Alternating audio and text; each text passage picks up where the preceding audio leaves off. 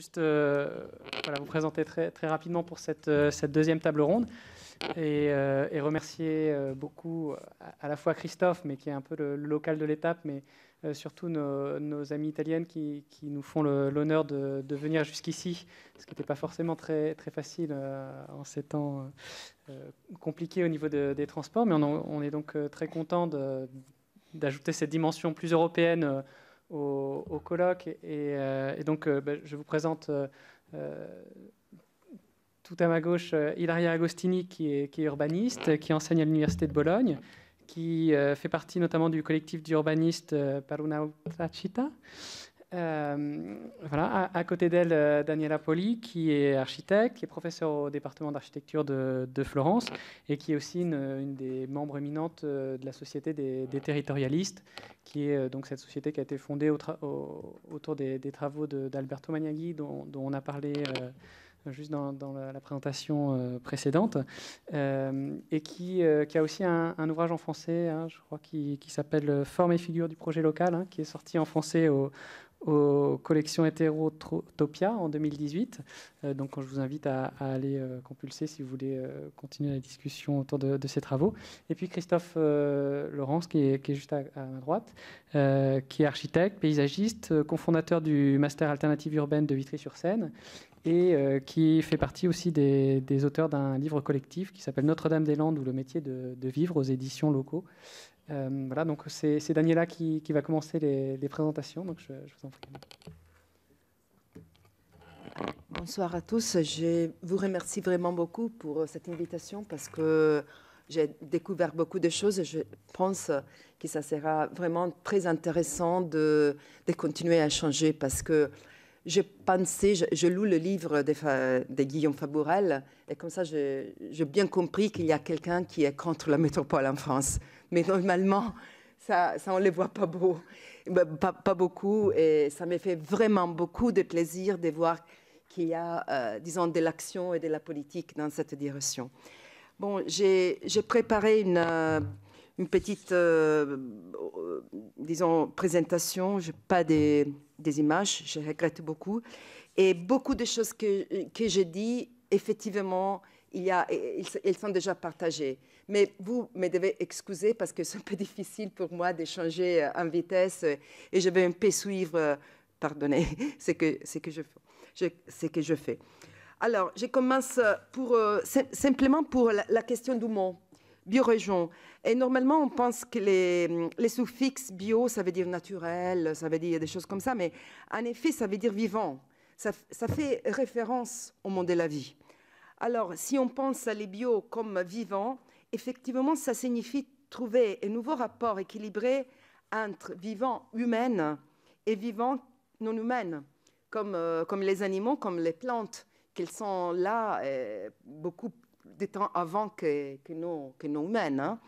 Et on pense au, bien euh, vivre euh, des, animaux, mais on pourrait commencer à penser à la même chose pour les plantes, par exemple, parce qu'encore, on, on veut couper un peu trop, par exemple, les, plantes en ville, etc. On ne pense pas du tout aux plantes comme des, systèmes vivants. Alors, on doit penser à, cette, à, à ces nouveaux équilibres euh, avec tout ce qui a, été soumis euh, par les hommes. On a parlé d'anthropocène. Et cette, euh, disons, soumission, elle, a été scientifiquement argumentée à partir de la modernité, quand il a émergé l'individu.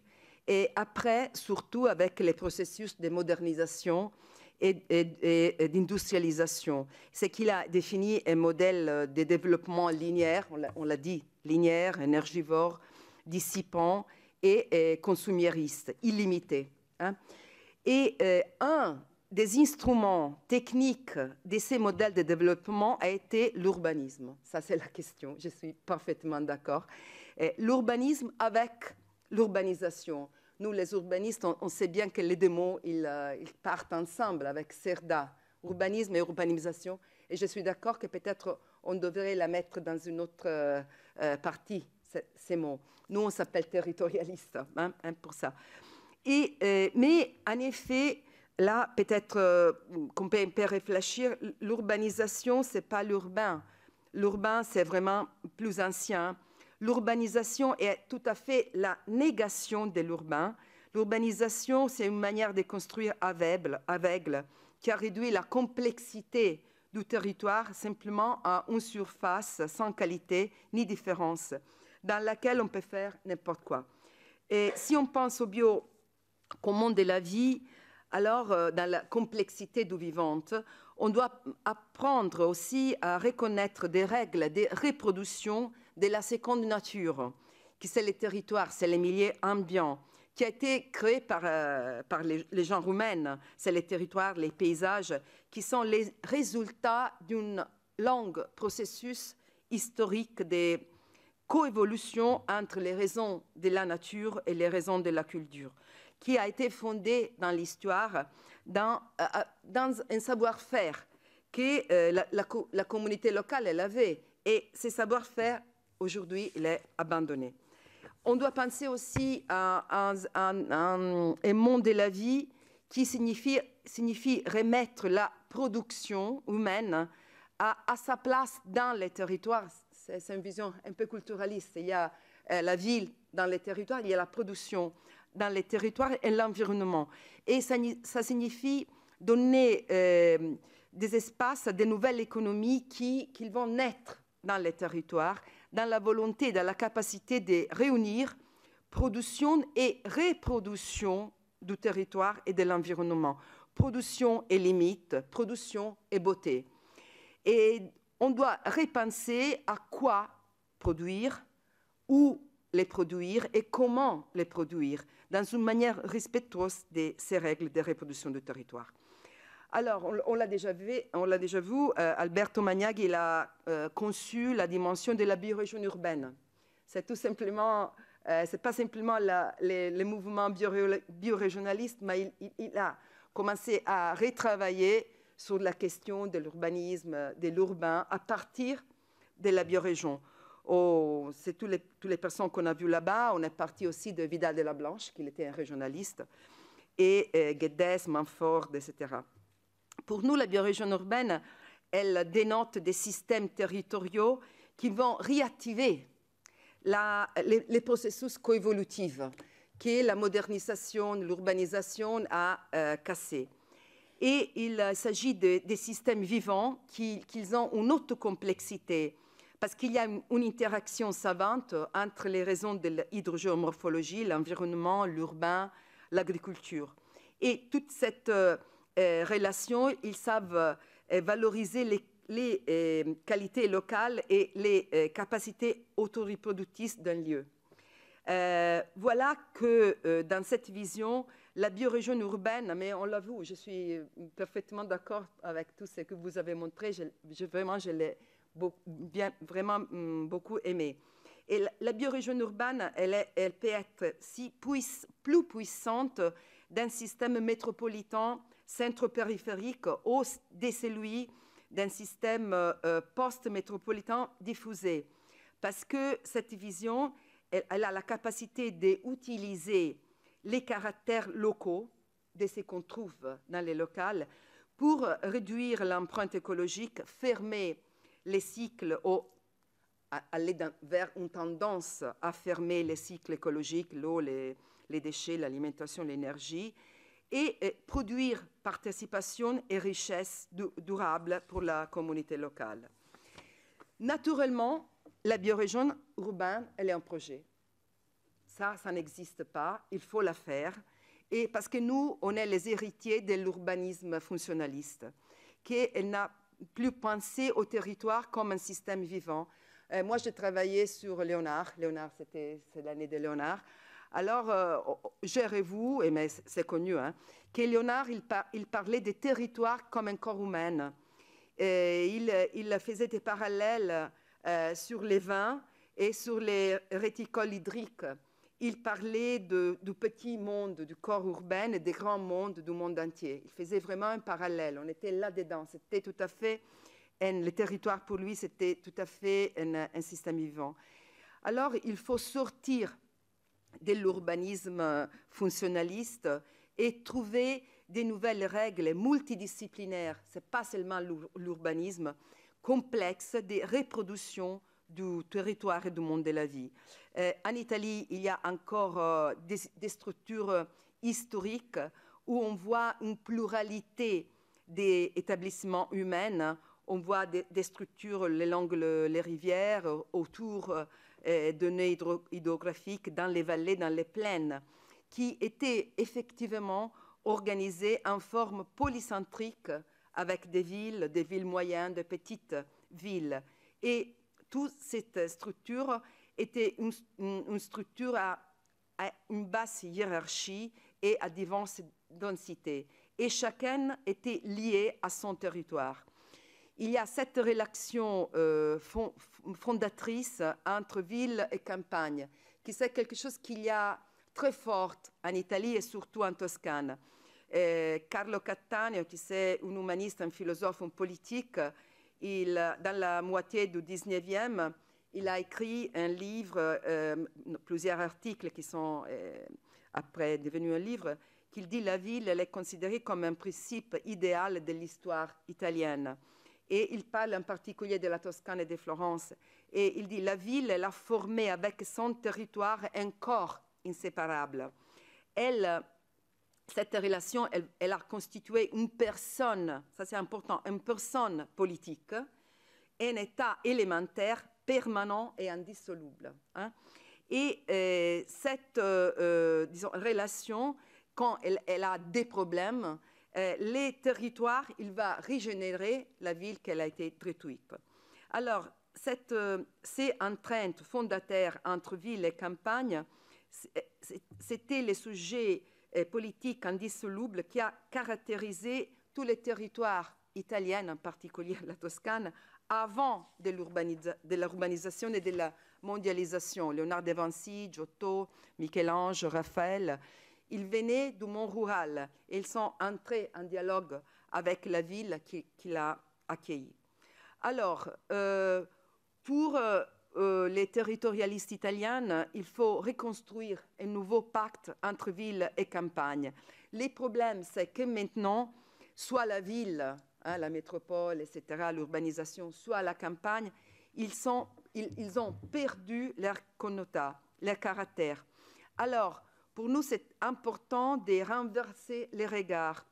C'est de la campagne à la ville. C'est vrai qu'il y a tous les différents éléments qu'on a vus, et les premiers, pour moi, c'est horrible. Et c'est drôle parce que moi aussi, je travaille, je regarde Sébastien Marot, sur euh, ces scénarios. Les problèmes, c'est que la Barilla, elle a euh, euh, écrit un livre qui c'est libre et elle vous la donne. Et là-bas, c'est bien écrit qu'on fait déjà ça, qu'on pense à une construction alimentaire. Il y a déjà la construction synthétique des aliments. Alors ça, c'est le problème. On peut penser à une, grande forêt sans aliments parce que les aliments, ils seront tous dans les fabriques, hein, dans les toits, dans les fabriques verticales. Et en plus, il y a la fabrique alimentaire. Ça, c'est les problèmes pour moi vraiment dangereux parce qu'ils sont déjà en route. Alors, hum, il faut invertir, il faut penser dès la campagne vers la ville. Comme en avant, c'était les roues qui sortaient de la ville et la modernisaient. Aujourd'hui, c'est les paysages, l'environnement, les rurales qui entrent en ville et qui la régénèrent. Mais de quelle ville on est en train de parler? Naturellement, la dimension urbaine, c'est vrai, la civitas, la civilisation, elle a été effacée par l'urbanisation. C'est l'urbain à reconstruire, la métropole, elle doit être reprojetée comme un biorégion urbain qui met ses racines dans les territoires. Les grandes périphéries qui maintenant euh, sont sans hiérarchie, sans qualité, elles doivent euh, être repensées. Je n'entre pas dans la question densification, pas de densification, mais des fois peut-être que si on travaille là-dedans et si on va densifier dans des parties peut-être que c'est pas mal si on va reconstruire des lieux, euh, des, relations, etc. Moi, je, travaillais euh, peu ici dans l'Aquitaine, etc. Et il y a vraiment beaucoup de Maliens qui sont tout pareils, tout pavillonnaires. Peut-être qu'ils travaillaient là-dedans, c'est pas, c'est pas mal. Ils, doivent euh, retrouver centralité, structure, organisation, beauté mesure. Et, et aussi, les problèmes, c'est l'agriculture. Ça ne suffit pas parler d'agriculture. Parce que maintenant, on l'avoue, l'agriculture, c'est la monoculture, c'est les pesticides, etc., Alors, on doit penser à une agriculture naturellement saine, bio, mais euh, pas nécessairement avec les labels, qui, qui n'utilise pas des pesticides, et qui va euh, découvrir, c'est la première fois qu'elle doit le faire, la fierté d'être agriculteur ou d'être directement paysan. Et, Jan van der Pleug, il parle des nouveaux, nouveaux euh, paysans, pas nouveaux agriculteurs, aux nouveaux paysans. Il parle de rétro-innovation, il faut du passé pour euh, les remettre dans le, dans le présent. En italien, villano, villan, c'est celui qui vient dans la, euh, la campagne, ça veut dire grossier. Ici, vilain, ça veut dire pas cher. Hein? C'est rien. Et c'est tout à réinventer. Maintenant, dans les rurales, il y a la conscience politique. Dans les, rurales, il y a l'action politique. Moi, je parle des ruralités actives, parce que ça soit en parallèle avec la citoyenneté active. Il y a les deux. C'est très important de, mettre en place la ruralité active. Les nouveaux euh, paysans, pour euh, euh, Van der Pleeg, ils vont valoriser l'autonomie, on parlait de ça, de leur travail. Ce n'était pas les salariés, les c'est les travailleurs autonomes. La leur attention, les savoir-faire, la différenciation de la production, l'autosuffisance alimentaire avant tout, les circuits courts. Et il faut penser à une agriculture bio qui pense à la santé humaine, mais aussi à la santé du territoire, l'agroforesterie, l'agroécologie, la réintroduction de la, euh, polyculture. Mais attention parce que, par exemple, euh, euh, chez nous, les programmes régionaux euh, de la PAC, hein, ils ne reconnaissent pas du tout la polyculture. Il faut faire des fausses. Il faut dire là, j'ai seulement des oliviers, là, j'ai seulement du rhin, parce que ça n'existe pas. On ne donne pas d'argent pour la polyculture. Ça, c'est un combat à faire. Enfin, réintroduire la dimension de la, de la, polyculture. L'autre, c'est la bas technologie et haute intensité du travail. Parce que l'autre problème en agriculture, c'est l'haute technologie. Hein. Et la, campagne historique, elle va raconter un autre élément fondamental qu'on a cité avant, que c'était naturellement la limite des ressources, mais la limite démographique aussi. Parce qu'on est trop, et on est trop concentré euh, et polarisé dans la ville. Historiquement, il y avait une constance euh, démographie. Et pourquoi? Parce qu'il n'y avait pas assez de, des aliments. Alors, par exemple, dans toute la Toscane, il y avait le petit bourg à la campagne qui s'était mesuré. Hein.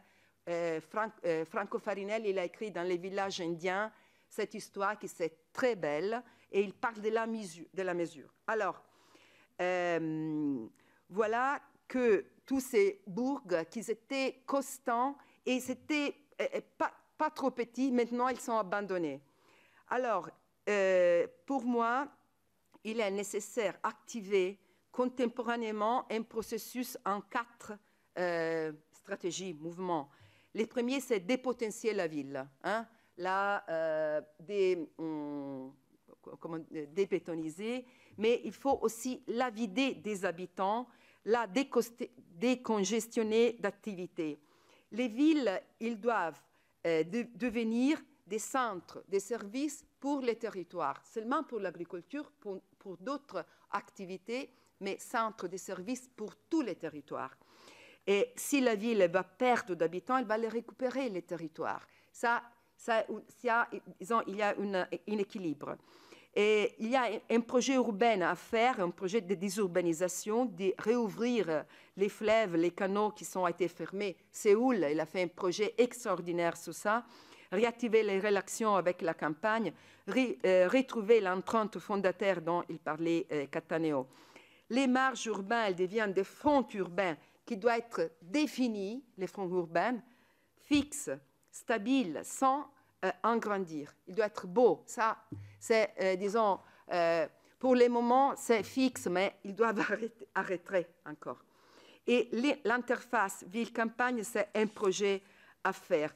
Euh, un petit, si, si, si, sur les périurbains, pour moi, on ne devrait pas parler du périurbain, parce que les périurbains, euh, si, si, si c'est un sujet, c'est toujours euh, trop vers l'urbain. C'est euh, on ne sait pas qu'est-ce que c'est, alors c'est l'urbain. Alors pour moi, les périurbains, il doit devenir un adjectif. Campagne, périurbain.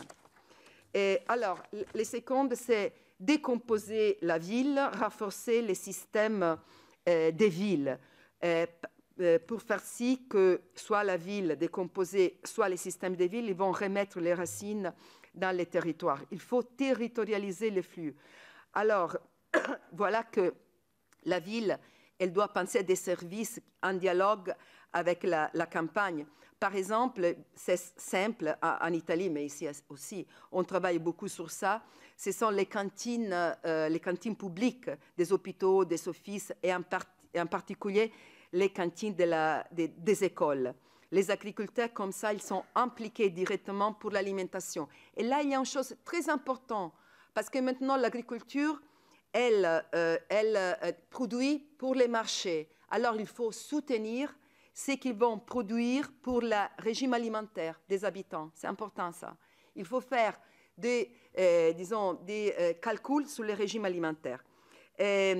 La, la, ville, elle doit être régénérée avec des, nouveaux critères. L'urbanisme, elle doit inclure les, les, les bénéfices, les services écosystémiques et écoterritoriaux. Naturellement, les critères, c'est la proximité, mais aussi combien de sols alimentaires, combien d'eau potable, combien de, euh, euh, carbone les arbres vont euh, absorber, combien d'économies solidaires, combien d'instituts au gouvernement.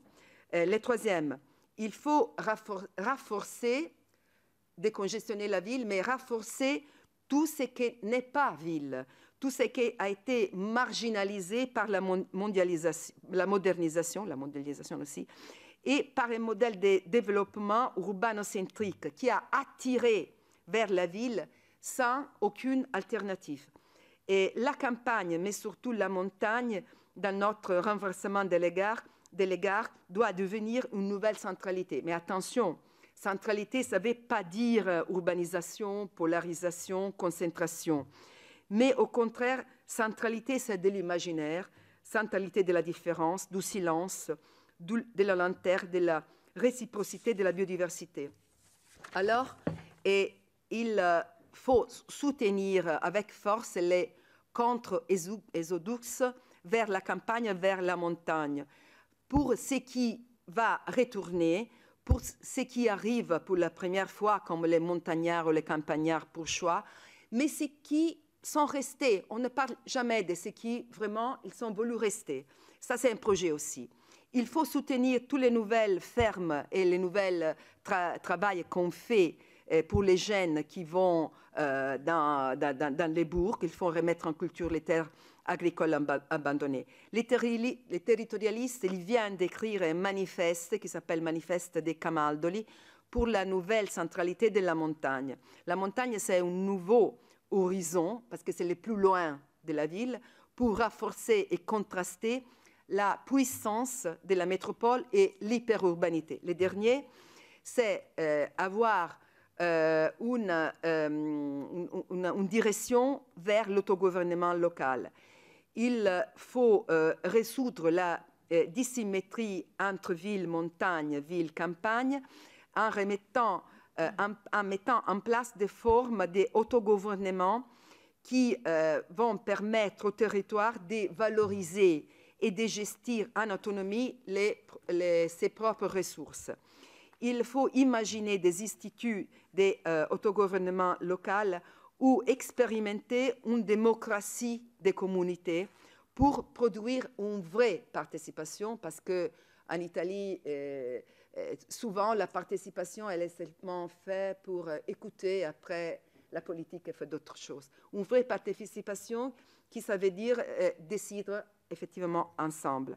Alors, il est nécessaire de soutenir la création d'un nouveau sujet politique qui va mettre ensemble des sujets différents, qui appartiennent à différentes catégories. Ce n'est pas seulement une lutte pour les citadins, les agriculteurs, les salariés, les entrepreneurs, les étudiants, etc. Mais c'est ensemble. Ils doivent travailler ensemble avec les collectivités, parties peut-être des collectivités locales, pour co-construire un projet qui sait est enracinée sous une nouvelle conscience du une, démocratie des lieux. Il y a beaucoup d'exemples qui sont à perfectionner sur ça. Il y a les contrats des, euh, rivières, des coopératives, des, des, communautés, des observatoires du paysage. Euh, euh, ils sont encore trop institutionnels. Il est nécessaire de les réouvrir, d'avoir une vraie participation pour aller vers une démocratie locale, des institutions d'autogouvernement qui partent d'une démocratie locale. Seulement comme ça, il sera possible d'abandonner l'idée d'une vieille centralité qui met la métropole au sommet d'une hiérarchie, territoriale. Il faut aller vers une nouvelle centralité relationnelle de type polycentrique, mesurée et solidaire, qui met au centre les dialogues entre villes, systèmes polycentriques, territoires, pour découvrir les, avantages mutuels.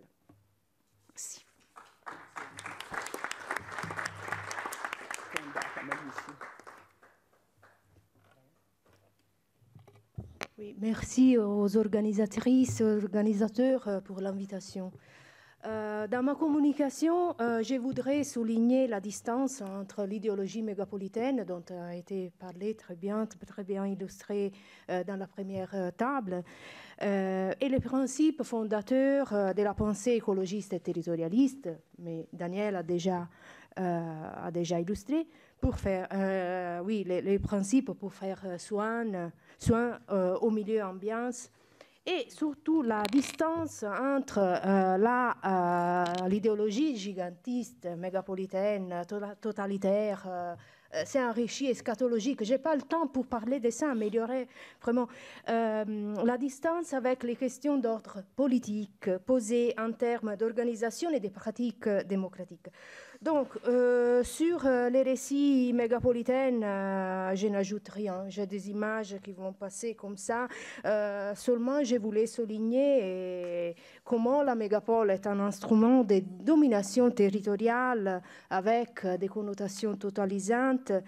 Et c'est un, dispositif dans lequel les capitales mondialisées privatise les, pouvoirs publics.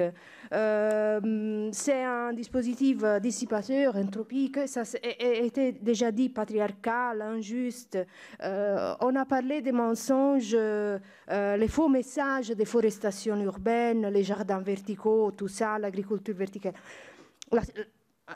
dans une phase, la soussomption des, des messages écologistes, d'une mégapole qui ne parvient pas à se euh, constituer comme un, écosystème. Hmm. Euh, la survie de ces technosystèmes mégapolitains est très fragile et risque de reposer sur des instruments autoritaires pouvant saper l'ordre démocratique. C'est le fascisme technocratique dont, euh, que craignait soit André Gorz, soit Ivan Illich. Euh, ça correspond à, dire que toute alternative possible, dissidente, micro-territoriale, polycentrique, néo-municipale, tous les adjectifs, au sens profond du terme, est refusée. Mais je pense et j'essaye de démontrer que c'est sur ces expériences sur ces alternatives d'existence euh, post-urbaines, post-rurales, hein, que notre attention doit se concentrer. Euh, je parle très vite des principes écologistes et territorialistes parce que là, on, a des surpositions, c'est pas la peine de... Mais euh, en synthèse, ce que je veux dire encore, c'est que euh, les principes écologistes, territorialistes, applicables à l'aménagement du territoire, pas dans une vision urbanistique, mais plutôt territorialiste, peuvent être résumés dans trois mots euh, au lexique féministe, soit euh, relation, reproduction, le soin, l'entretien de l'habitat de vie, etc. Euh, établir des relations entre individus, euh, environnement, l'ambiance et la société, humaine, non humaine, les vivants. Et établir un équilibre entre la reproduction du vivant et la production du matériel euh, matériaux, nécessaires à la vie, hein, à l'imaginaire, à la culture, à l'affectivité, tout ce que, à la beauté. dans ces scénarios, la révision de la logique propriétaire, de la structure de la propriétaire, est, la révision est nécessaire et urgente. Euh, ces genres de critiques sur la logique propriétaire trouvent, une solution dans les principes des biens communs collectifs gérés à des fins civiques, hein, où propriété et usage sont intimement liés. Mais on revient sur ça. Il y a des archétypes euh, qui, guident les projets du territoire, euh, qui sont la ville-village, pardon, la ville-village, la microterritorialité de la biorégion, de la région de vie, euh, et l'autogestion démocratie directe. De ça, euh, Daniela Poli a déjà dit tout, je dirais tout, beaucoup. Euh, je voulais seulement remarquer quelque chose sur l'idée de, la ville, de la ville. J'utilise village, c'est un mot qui génère un peu de confusion, mais quand même, c'est un, concept où l'interdépendance est, très important. Ça veut dire sortir de l'isolation, de l'insularité, mais aussi euh, se démarquer, je l'utilise aussi pour se démarquer de la compétition. Comme l'a dit Kropotkin, heureusement, la compétition, n'est pas la règle dans le monde animal ni dans les genres humains. Euh, la coopération, l'entraide, comme force évolutive à l'œuvre dans les villages, euh, ce sont des, archétypes que nous pouvons aujourd'hui reproduire dans les projets du territoire. Euh, ça, Daniel l'a déjà dit. Euh, sur la démocratie directe, euh, oui, c'est important de souligner l'effet que la métropole, dans le sens étymologique des maires des villes, ville, maire des villes, repose sur l'auto-organisation, l'autodétermination, l'autonomie dans l'essence, euh, l'autonomie, c'est l'art de se donner des règles, non euh, selon, selon la sagesse populaire, comme disent les Indiens, l'utilisation prudente des ressources, et à poursuivre dans un domaine de non-violence. Sur le municipalisme libertaire a été déjà un peu cité, euh, les modèles, c'est le modèle de Bookchin, etc., ou le fédéralisme solidaire, comme Alberto Magnaghi dit toujours souvent. Il y a des actions à prendre, des mouvements à suivre dans l'aménagement des territoires, mais, ce n'est pas la peine de, souligner ça. Je pense qu'il faut affirmer et renforcer le concept de coévolution dans le sens que Guedes dit entre lieu, travail, habitants, pratiquer la tâche. Oui, mais ça sont des choses qui ont... Je vais arriver l'originalité de ce que je dois dire. Hmm. Alors, dans ces moments euh, des crises qu'on a bien illustrées aujourd'hui, d'imagination politique, euh, des crises d'un imaginaire stérile qui est dominant, hein, euh, l'imaginaire néolibéraliste, je pense que, que, pour accomplir des tâches de euh, construction d'une région de vie, d'une biorégion, il faut bien observer et agir dedans les collectivités innovantes hein, qui expérimentent des alternatives d'existence micro-territoriale, hétérogène, auto-organisée, conflictuelle, résistante, mais avec une forte proposition euh, projectuelle. Hmm. C'est ce qu'on ce qu'on appelle l'imagination en action, imagination en action. Euh, Patrick Guedes disait, ce sont des oasis de, de, la vie normale, de la vie humaine normale, euh, des réalisations exemplaires dans lesquelles un contact non dissipatif avec la nature, j'ajoute à la société, est mis en œuvre. Hmm. Ces contacts non dissipatifs, c'est très important. Euh, sont des réalisations qui coordonnent, je cite encore Patrick Guedes qui parle des, autre type d'expérience, mais qui est très proche à ce que j'ai dit, sont des réalisations qui coordonnent les arts de la vie vers une vie plus abondante. Ça, c'est très bien. Et qui revitalise, ça c'est hors euh, des, guillemets, les espaces des morts, comme dira Henri Lefebvre à propos des espaces des domaines de la rente et de l'agroéconomie, de l'agroindustrie. Dans cette oasis, dans les villes et les campagnes, euh, pardon, cette oasis dans les villes et les campagnes produisent des espaces de vitalité riches en avenir à travers les pactes, l'alliance ville-campagne, elles subvertissent la domination capitaliste et culturelle de la ville sur son territoire rural. En plus, elles étendent la sphère des droits de la nature, du droit, du vivant, euh, les droits, pardon, elles étendent la sphère des droits à la nature et au vivant, puisqu'elles mettent en pratique une relation avec les milieux ambiants qui n'est plus une prédation, mais symbiose et réciprocité. Donc, la multitude des expériences que je vais illustrer dans quelques photos euh, qui ont une valeur contre-politique et instituante, constituante, en italien on dit istituenti, je ne sais pas en français vraiment, travaillent dans un espace de la post-urbanisation, hein, mais dans ces interstices aux marges. Hmm? À Rome, dans les grandes villes euh, italiennes, euh, euh, par exemple, les demandes d'intérêt se concentrent sur les droits à l'habiter, les occupations habitatives, la rente, je l'ai dit, la spéculation immobilière, porto fluviale, attends Daniel. Sur les formes alternatives du travail, comme dans Officine Zero, l'échange non compétitif des compétences, puis il y a la revendication, récupération, restitution des espaces collectifs, l'area ex SNIA. Mais euh, il y a aussi une euh, euh, réflexion critique sur la dialectique entre la légalité du plan d'urbanisme et la légitimité d'usages qui sont parfois pluridécennales, auto-organisés, service au service des quartiers qui sont pauvres d'équipements et qui sont des, réalités qui, fournissent un welfare qui, en Italie, en France peut-être non, mais en Italie, vient un peu manquer.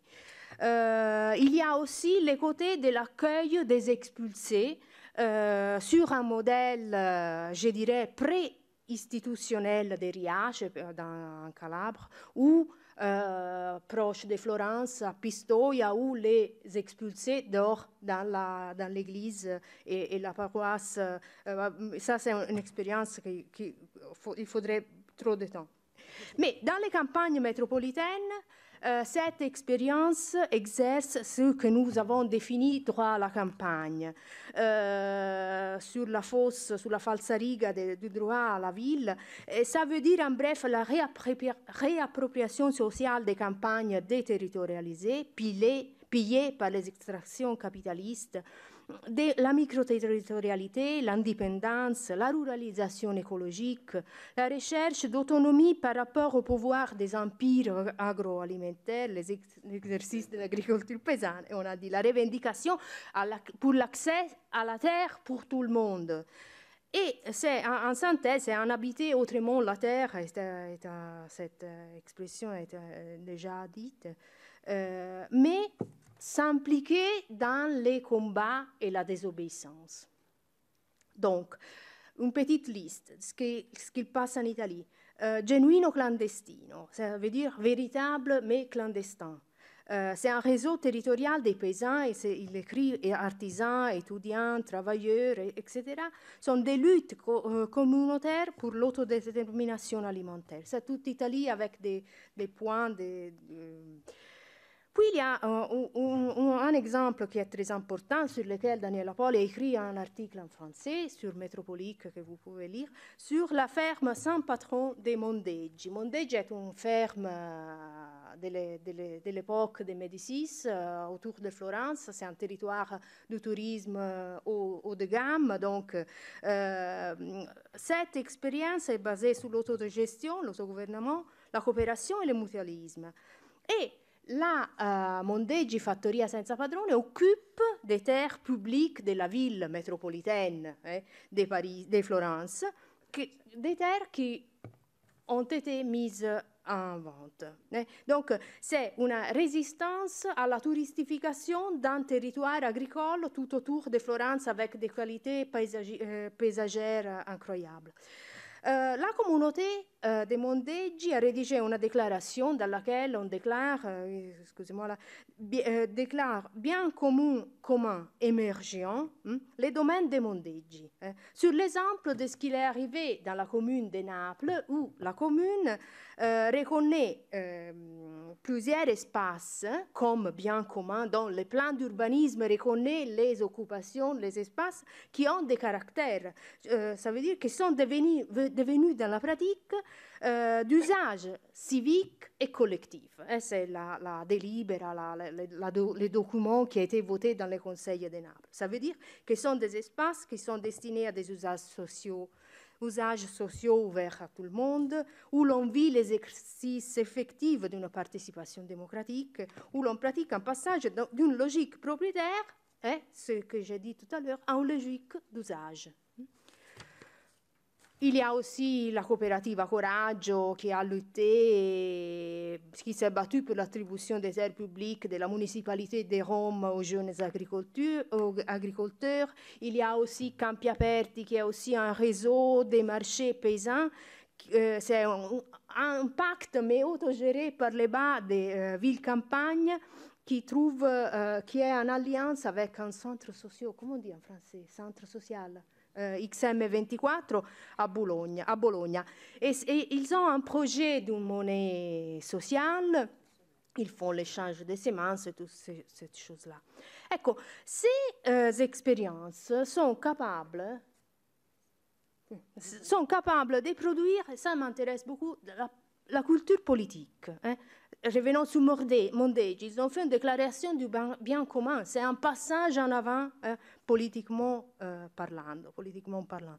Euh, Valle à Rome, euh, qui maintenant s'est fermé, il a été débarrassé, c'est une histoire qui s'est finie, mais ils ont euh, mm, ospitato, come si dice, eh, hébergé, oui, on peut dire comme ça, la commissione costituente per i beni comuni, la commission instituante des biens communs qui a été précédée par uh, Rodota, qui est une personnalité ou sinon culture politique euh, d'un autre euh, signe. Emidio di Treviri est un, Emidio di Treviri est un collectif de recherche indépendant sur les post-sismes de l'Italie centrale, 2016-2017. Une catastrophe euh, énorme dans l'Italie centrale.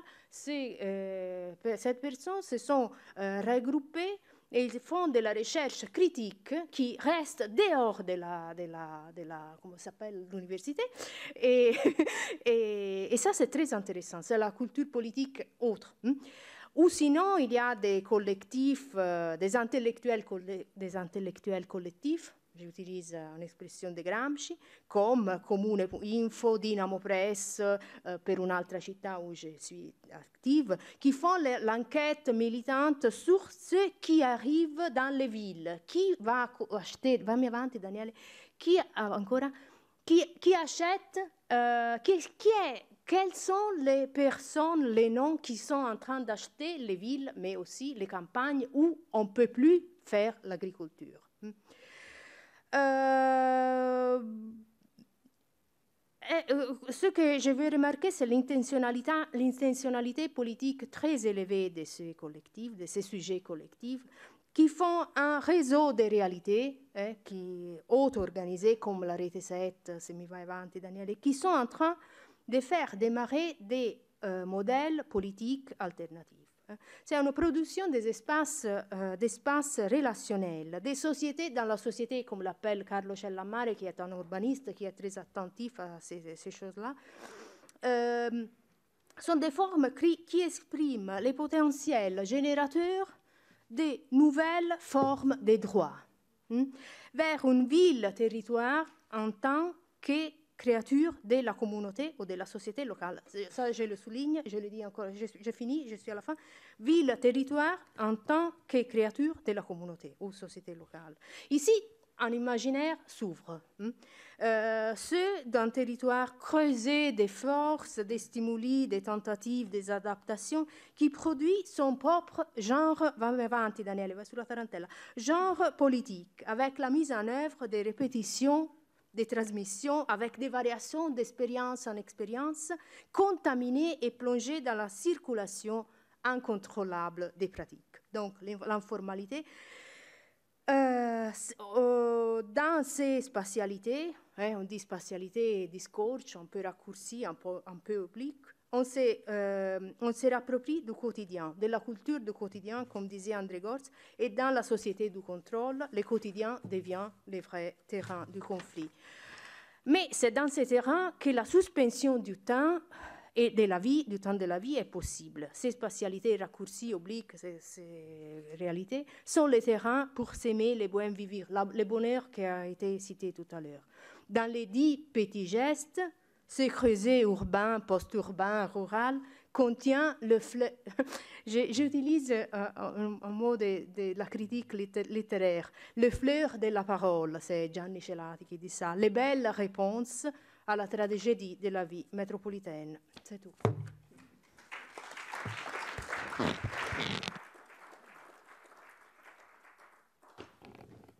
Merci. Christophe Laurent. Euh,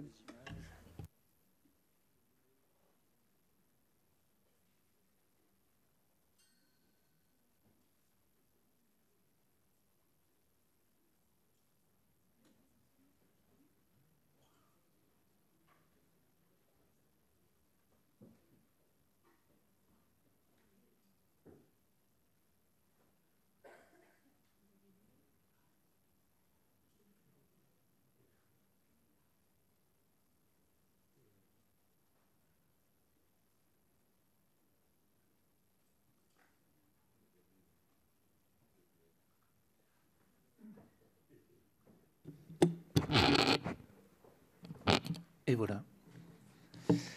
Bien. Eh bien, euh, merci aux représentantes de l'Italie. L'enchaînement avec l'imagination en action va être impeccable parce que je vais vous parler, entre autres, de, l'expérience de Notre-Dame-des-Landes et de, la ZAD comme manière euh, d'ouvrir quelques pistes par rapport aux questions qu'on se pose ici. Mais avant, je voudrais revenir sur quelques généralités, sur le moment qu'on est en train de vivre. Euh, qui peut paraître comme ça un petit peu hésitant. On est là, vous voyez, à, redire un peu les mêmes choses, à, être convaincu qu'on est à un tournant, à un moment un peu particulier. Et en même temps, on sent bien que tout ça se pense relativement doucement, est en cours, en marche, et que dans la réalité, euh, la réalité métropolitaine est bien, bien loin de ce qu'on est en train de se raconter ici entre nous. Euh, malgré tout, mon sentiment est que de toute manière, nous sommes là à un tournant de l'histoire humaine qui est décisif et aussi un tournant de l'histoire urbaine. Et que euh, la discussion qui est en train de s'élaborer maintenant n'est euh, pas du tout de même nature que celle qui s'est élaborée sur d'autres tournants de l'histoire urbaine depuis quelques décennies. je ne reviens pas là-dessus, mais on connaît très bien ça dans les écoles de paysage, d'architecture, etc et que le tournant actuel est un peu plus décisif, enfin beaucoup plus décisif et un peu plus difficile à penser peut-être parce que il réoriente complètement la pensée. On l'a senti déjà plusieurs fois depuis le début de l'après-midi sur cette idée que la métropolisation de plus en plus grande, de plus en plus intense, de plus en plus euh, connectée ne serait pas forcément l'ultime horizon de l'humanité et on voit bien que défaire cette chose-là n'est pas si simple que ça. Je voudrais revenir aussi sur une. Donc, en gros, là-dessus, mon sentiment, c'est que malgré tout, on a un peu l'impression de, euh, de patauger un peu, que ça avance lentement, et que, en fait, euh, mon sentiment est que les choses sont en train de changer assez vite dans les imaginaires, et euh, pas simplement dans les écoles, l'urbanisme, l'architecture, etc., mais que le simple fait d'avoir euh, une discussion aujourd'hui au Sénat sur un thème comme le post-urbain est loin d'être une évidence. Vous auriez proposé ça il y a cinq ans, euh, tout le monde aurait rigolé. Donc, l'air de rien, j'ai le sentiment que les choses avancent en fait assez vite sur ces sujets-là. Euh, une des choses sur lesquelles je voudrais revenir, c'est cette fameuse discussion entre ville et campagne. Euh, là, à mon avis, euh, moi, je ne lis pas du tout les choses euh, de la même manière sur comment on peut lier la ville et la campagne, etc. simplement parce que j'ai le sentiment que nous avons vécu jusqu'à il y a deux siècles et depuis 10 ou 12 000 ans dans un monde rural, c'est-à-dire où toutes les entités de la société, tous les territoires étaient accrochés à des ressources locales y compris les villes. C'est-à-dire qu'une petite ville du XVIIe siècle, même en Europe, même Paris, a une ceinture maraîchère, quelques carrières, un peu de bois, un fleuve, etc., et qu'elle est relativement autonome. C'est une vie locale et que je qualifie globalement, mondialement, très majoritairement rurale. Et donc là, on était attaché à la terre, hein, très clairement. Et euh, avec l'ère industrielle et tout ce qui s'est emballé derrière, tout ça, encore une fois, sans grande décision, ni, grande, ni grand choix, ni politique, ni technique, mais simplement l'emballement de la situation nous a conduit à cette métropolisation. Ce qui se passe euh, avec ces phénomènes-là, c'est que euh, ce n'est pas simplement les villes qui s'urbanisent.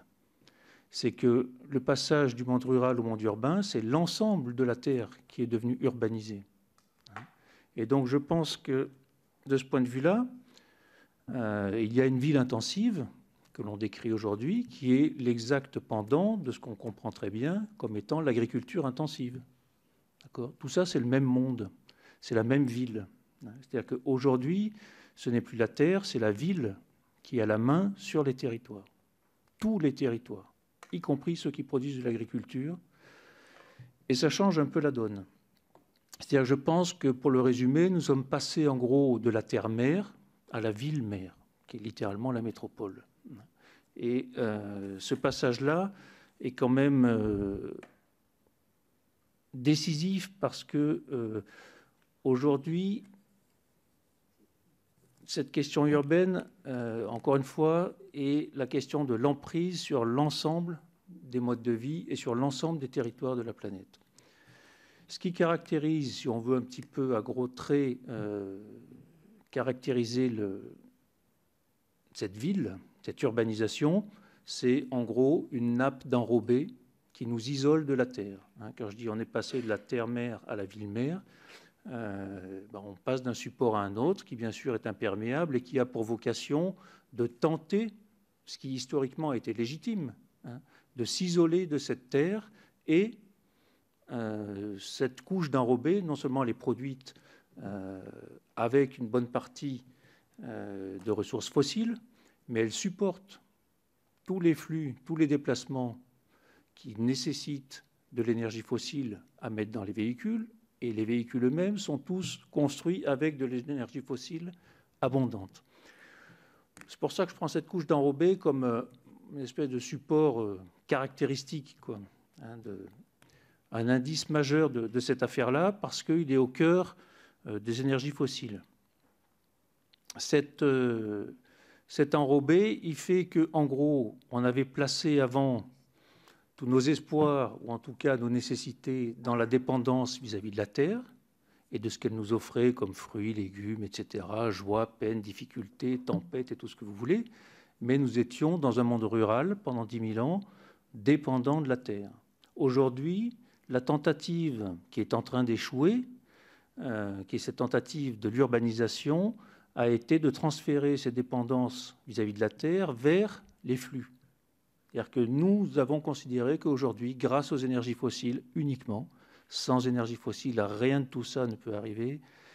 Donc grâce simplement à ces énergies fossiles, nous avons considéré que nous pourrions nous émanciper de la Terre, nous en isoler, et que on pourrait considérer que l'ensemble de la Terre deviendrait une immense carrière dans laquelle on pourrait puiser des pierres, des métaux, des fruits, des légumes, des poissons, des vaches, tout ce que vous voulez, et les ramener dans les centres métropolitains à grands coûts de, euh, de carburant en tout genre et de véhicules en tout genre, bateaux, avions, etc.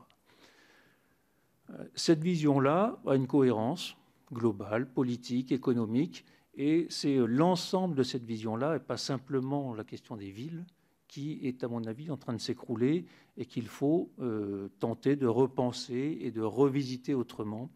Et c'est ces, euh, ces dépendances-là, nos dépendances à la terre et nos dépendances aux flux, et donc aux énergies, euh, qu'il faut aujourd'hui complètement recomposer. dans ces, vous comprenez que dans mon, dans ma vision des choses, l'histoire euh, rurale et l'histoire urbaine sont absolument indissociables, qu'elles ont toujours porté ensemble une vision euh, d'espérance et de manière d'habiter la terre. C'est cette chose-là aujourd'hui qu'il faut réinventer, qu'il faut euh, faire basculer vraisemblablement vers autre chose. Si nous n'avions pas le problème du réchauffement climatique et de toutes ses conséquences, on pourrait tenter de continuer de miser sur les flux et la mondialisation de tout. Euh, le réchauffement climatique étant là, la question ne se pose même plus, à mon avis. Euh, elle est totalement vouée à l'échec.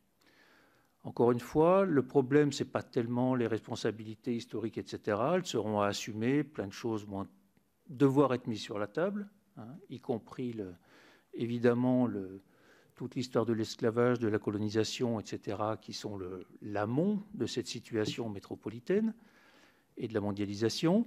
Mais aujourd'hui, au point où on en est, il s'agit, euh, comme le disait euh, ma voisine précédemment, euh, de réouvrir des imaginaires et de miser sur des situations comme ça innovantes. Et parmi celles-ci, il y en a une, on peut relancer peut-être les, images. Euh, je peux avancer jusqu'aux premières photos. il y en a une qui est assez exceptionnelle euh, en France, qui est euh, la situation de Notre-Dame-des-Landes. Donc typiquement, une piste, une lutte contre l'installation d'un aéroport, et donc de cette fameuse surface d'enrobé dont je parlais qui nous isole de la Terre. Euh, l'aéroport annulé, c'est quand même un signe des temps décisif.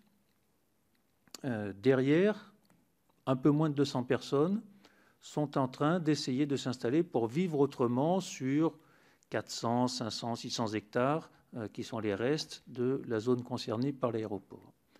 Donc nous voilà dans le bocage à une trentaine de kilomètres au nord de Nantes, un bocage où il y a quelques bois, euh, et puis voilà, principalement euh, de la terre, des haies, des arbres, etc., et dans lequel des gens ont tenté de s'installer justement en modifiant totalement euh, les priorités euh, dans leur manière de vivre.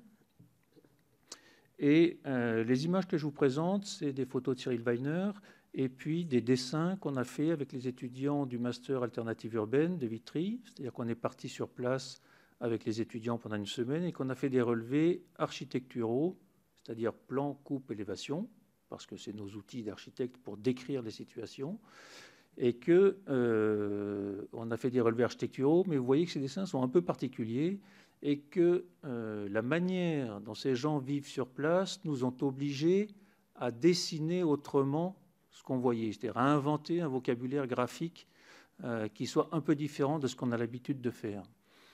Pour vous décoder un tout petit peu la situation, c'est des relevés qui sont habités, c'est-à-dire qu'il y a dedans euh, des gens, des objets, etc. On ne dessine pas simplement les bâtiments, mais tous les ustensiles qui décrivent l'usage et la vie euh, qui s'y déploient. C'est des relevés euh, dont les plans, les élévations, etc., sont systématiquement cadrés de manière très large, de manière à ce qu'on puisse voir les, arbres, les nuages, la terre, c'est-à-dire tout l'environnement dans lequel ils sont pris. Et c'est des relevés, enfin, vous voyez finalement, avec quasiment le même trait, même s'il y a quelques subtilités d'épaisseur de trait, etc., c'est notre boulot, mais simplement très fin, nous avons décrit avec le même outil les taupes, la terre, les nuages, les bâtiments, les habitants, les cafetières, les légumes, etc. Et donc, cette manière-là, qui nous a été presque dictée par la situation, hein, de dessiner, c'est-à-dire de faire de l'ensemble de ces éléments un milieu, l'habitation, l'habitant, les animaux, les humains, les autres humains, etc. Vous voyez, typiquement sur le dessin que vous avez là. Euh, le fait de dire tout ça participe à un seul et même milieu euh, et que tant que les relations entre tous ces éléments-là ne seront pas repensées autrement, euh, on ne pourra pas arriver à basculer notre manière de voir la ville ou la campagne. on n'y arrivera pas. Alors, il y a une porosité extrême je vous donne juste un, élément euh, qui compose euh, la plupart des situations habitées de Notre-Dame-des-Landes. Euh, Ce n'est pas du tout une communauté, c'est une série de constellations éparpillées sur tout le territoire. Donc pour les territorialistes, cette question du territoire diffus est très importante. Et ensuite, chaque constellation est constituée en gros autour d'un élément commun, qui est la cuisine, le jardin et un atelier, pour la plupart des cas, il y a toutes les variantes évidemment, et autour de cet élément commun, une série de caravanes, cabanes, camions, tout ce que vous voulez, ce que vous voyez à l'image, là, par exemple, c'est la cuisine de, la riotière, qui est un des éléments centraux du commun. Ce que signifie cet éparpillement, voilà par exemple à l'image une, chambre possible, accoudée à un poulailler. Ce que signifie cet éparpillement, c'est que quand vous êtes dans la cuisine avec vos amis, vous préparez à manger, etc.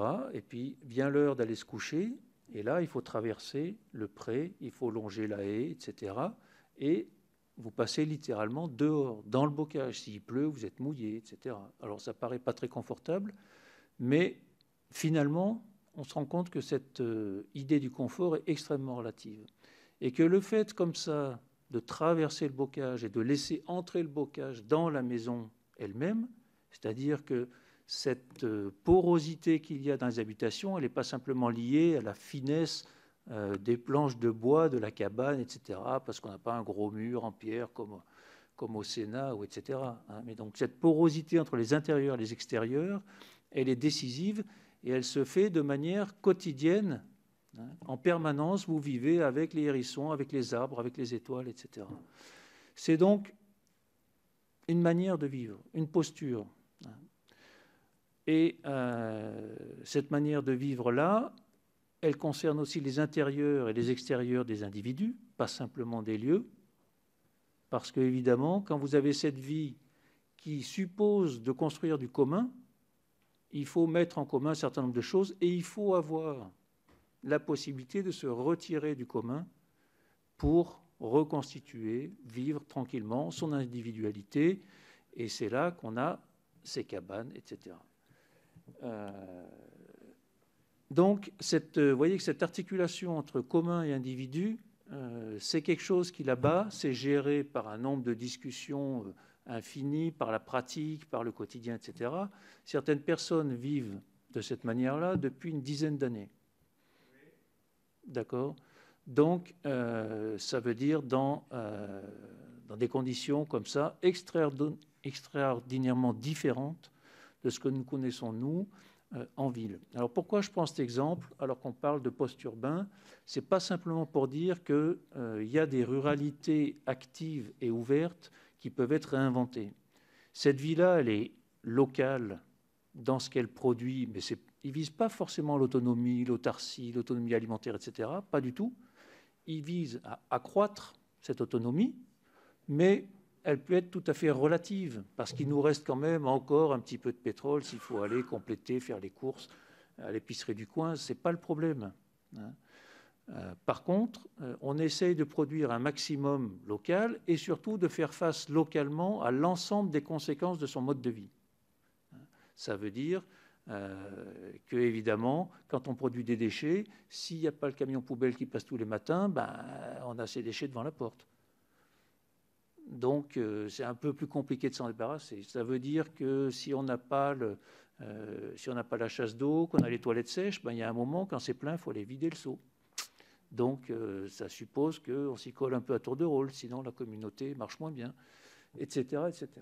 Donc, c'est des choses assez simples, euh, mais euh, par tout un tas d'organisations comme ça, très pratiques, très quotidiennes, s'installe une autre manière de vivre, très différente, et qui fait que, vous voyez, nous, quand simplement on veut la décrire avec des outils de l'architecture, on est obligé d'inventer un autre outil de dessin, de cadrer plus large, de se faire toute une bibliothèque graphique euh, pour dessiner les, mousses, les arbres, etc., les cabanes. Euh, donc, cette euh, expérience-là me fait dire que cet élan que peut porter une communauté comme ça, une série de constellations, et non pas une communauté justement, mais une série de constellations qui construit un commun, qui finalement résonne très bien avec l'échelle du quartier qu'on connaît en ville, et euh, Notre-Dame-des-Landes peut être très bien considéré comme un quartier qui pourrait être relativement densifié jusqu'à une certaine mesure, hein, mais pour l'instant, les projets sont en cours, il y a tout un tas de, discussions en cours pour l'achat des terres, pour la, construction d'un certain nombre de, nouveaux bâtiments, etc. Et que euh, la question de la densité rurale ou urbaine euh, se pose de manière différente, mais qu'on euh, peut très bien imaginer, à partir d'une ruralité différente, se nourrir de cette philosophie-là pour construire des urbanités différentes.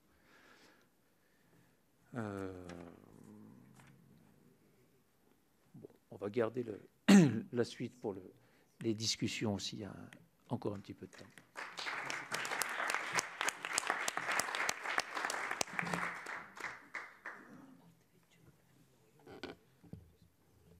Je vais prendre euh, les questions.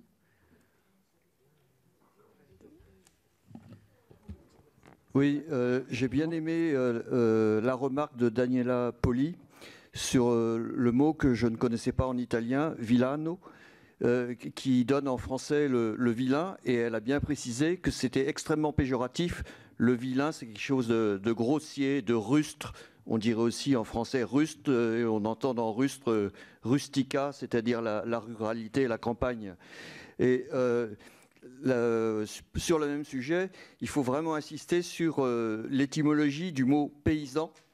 Euh, parce que paysan, c'est latin pagus, c'est le pays, c'est l'habitant au sens propre du pays, mais dans tout le monde chrétien, paysan, pagus, ça a donné l'injure espèce de païen et on a massacré, on a colonisé parce qu'il y avait d'horribles personnes qui étaient des païens, c'est-à-dire des paysans, c'est-à-dire la, religion locale, alors que la vraie religion, c'est la religion qui est en ville, c'est la religion des catholiques, c'est la religion des chrétiens ou des protestants.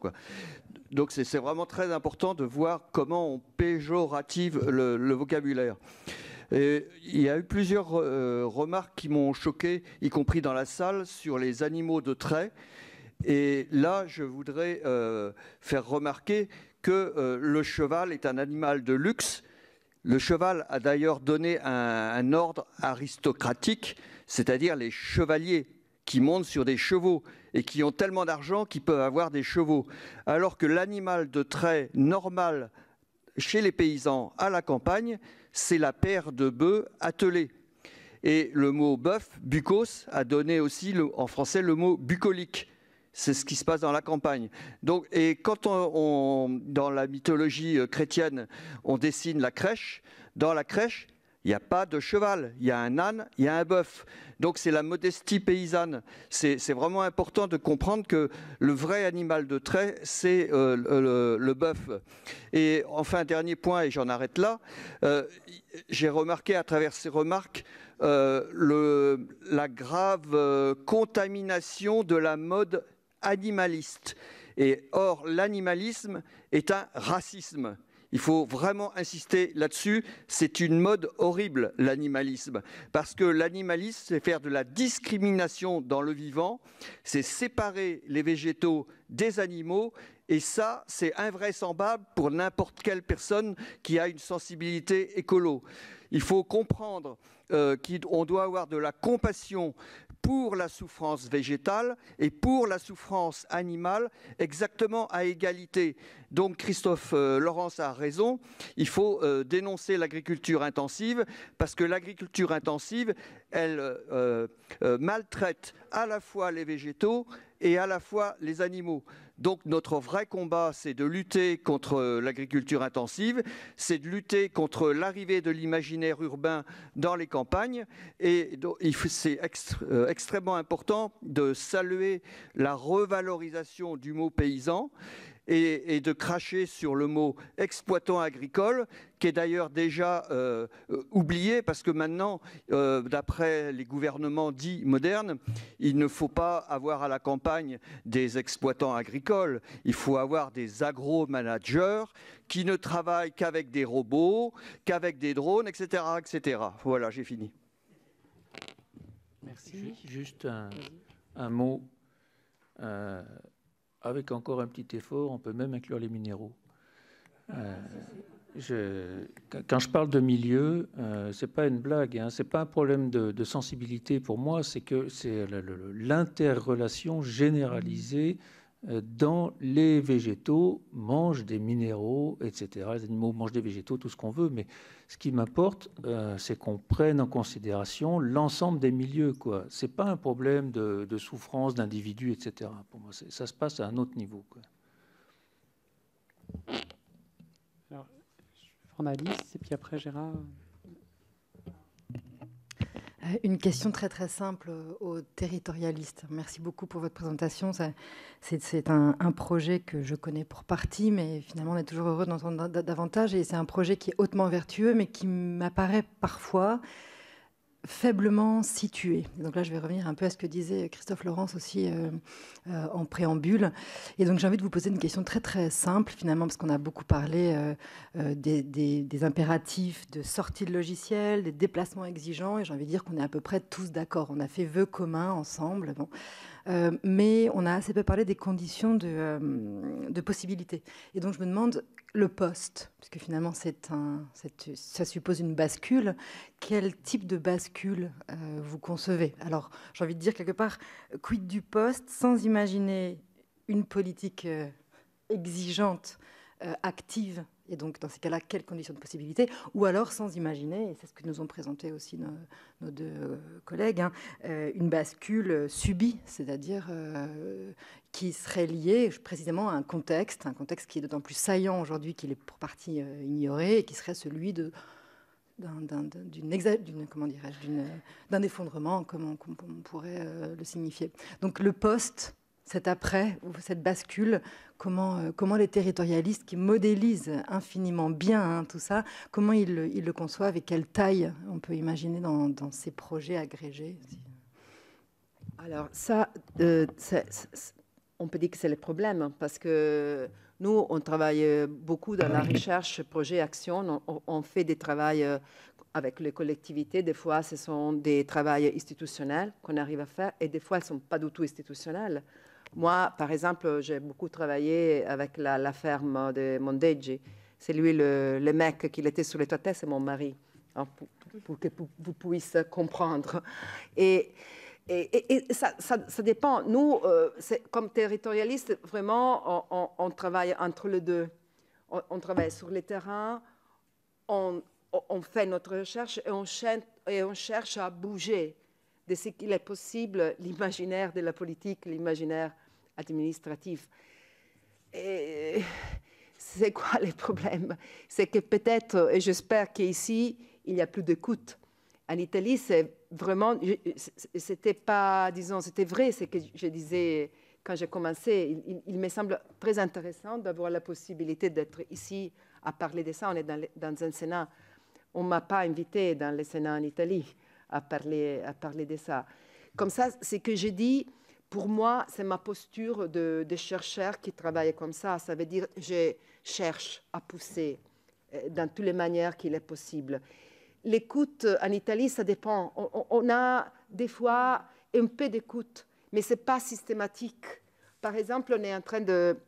Non, pas nous, mais ils travaillent sur le... Sur, si, on travaille sur les hum, coopératives des communautés, et ça, c'est très intéressant ils sont en train de, les faire marcher. Ça veut dire qu'il y, a, y, y a du monde qui doit travailler pour la, disons, pour la société, mais pour les territoires aussi. Et tout le monde doit travailler ensemble. Ça, c'est intéressant. Euh, dans les Pouilles, par exemple, nous, on a travaillé avec les plans, des paysages. Et là, c'était un moment extraordinaire parce que, euh, bon, il y avait euh, Vendola qui, euh, qui c'était les, chefs de la région. Alors, avec ces plans de paysages, c'était un plan où il y avait beaucoup de projets là-dedans. Et après, même quand il était fini les, les plans, beaucoup de projets, ils sont partis. Et, et, on l'avoue parce qu'on a fait un, un, un, colloque sur la démocratie des lieux à Pouille et on avoue les différents projets que vraiment ils sont partis. Comme ça, ça dépend. C'est pas euh, dans, ces moments-là, au niveau national, bon, je ne sais pas. Juste deux mots encore là-dessus. Euh, j'ai le même pragmatisme euh, que Daniela. C'est-à-dire qu'on peut agir au niveau local comme Notre-Dame-des-Landes, et puis on peut attendre que des sénateurs se saisissent de la question et fassent leur boulot au Sénat. Ça va aller comme ça partout. Hein. Donc ça, je ne vois pas pourquoi on, se, on s'éviterait l'un ou l'autre. Euh, à mon avis, il faut attaquer par tous les bouts. Mais il y a une chose qui change un peu la donne sur toutes les questions euh, révolutionnaires, c'est que jusque-là, on se disait euh, soit mille révolutions, soit le grand soir, comment prendre le pouvoir, etc. pour changer les choses, je pense qu'aujourd'hui, les choses sont exactement inversées, c'est-à-dire que la grande révolution, l'immense soir catastrophique du changement climatique va avoir lieu sans aucun doute. Donc la révolution, ça y est, elle est partie. Et notre boulot maintenant, à nous, euh, c'est que ça renverse complètement les positions, c'est que nous qui avons l'air comme ça d'être un peu révolutionnaires, etc., on finit par travailler pour simplement tenter d'atténuer le désastre. Et que ceux qui continuent à ne rien faire sont en fait euh, les acteurs de la révolution du changement climatique qui va nous tomber sur la tête. Mais là, se demander comment on va changer les choses, moi je sais, hein, c'est pas nous, c'est la Terre qui va changer les choses. Et ça change complètement le, la donne. On va essayer de, de, grouper les questions euh, pour la fin. J'avais Gérard Lévy, et puis après Agnès Sinaï, et puis monsieur aussi. Oui, excusez-moi, avant d'intervenir auprès de monsieur Christophe Laurent, je voudrais intervenir auprès de Agnès Sinaï et Yves Cochet. J'ai pas pu poser ma question. Pour moi, c'est clair. Euh, la prévention des risques majeurs, c'est une donnée fondamentale si on veut que l'humanité n'aille pas au précipice. On voit ce qui se passe dans les incendies en Australie et j'en passe. Une des menaces majeures, c'est bien une catastrophe nucléaire euh, déclenchée par un Trump et un Nord-Coréen, qui ferait que le nuage nucléaire atteigne euh, à puissance 10 tsunami euh, l'ensemble de la planète, avec les conséquences dramatiques. Donc une des politiques majeures de tous, c'est d'éviter cela. Et les villes, en tant qu'organes politiques, comme Paris, euh, viennent de voter le principe de demander l'interdiction des armes nucléaires, comme le pape le fait, mais c'est une question de délai et nous avons une course de vitesse. Maintenant, en ce qui concerne le cheval, je vous signale que les Amish pratiquent euh, la, une réalité de refuser le modernisme et restent à l'état 17e. Ils le vivent. Bon, euh, maintenant, on peut faire un bilan complet en ce qui concerne sanitairement, l'éducation et tout, mais c'est une réalité de refuser et faire la décroissance euh, en temps réel. Maintenant, au niveau des expériences, euh, sur les expériences du type Colcos, euh, Kibbutz, même le Larzac, il y a 45 ans, que fait-on d'une friche qu'on a conservée? Est-ce qu'on est en capacité d'être un modèle de développement durable ou c'est un instantané qui va rester en marge? Et qui sera en fait une vitrine et qui ne sera pas suffisamment pertinent. Je termine. Je souhaite plutôt que les villes travaillent en réseau. Donc il y a des fédérations des villes unies pour tel et tel type, développement de du vélo, développement de la permaculture, etc. Donc plus on emmagasine des expériences, plus on pèsera sur la sphère euh, internationale, parce que pour le moment, c'est que les États et les gouvernements qui peuvent agir et déterminer notre futur, mais les villes ont une capacité forte et plus elles se coordonnent, plus elles pèseront euh, pour freiner en effet l'impact euh, du, dérèglement climatique auprès de la planète Terre que nous devons conserver impérativement et nous-mêmes en tant qu'espèce. Merci. Agnès euh. Oui, moi c'était une question pour nos amies italiennes. Où en est le projet biorégional de Prato, par exemple et Est-ce qu'il y a toujours des projets en cours euh? je, vais, juste finir les questions pour euh, les, couper, si vous voulez bien.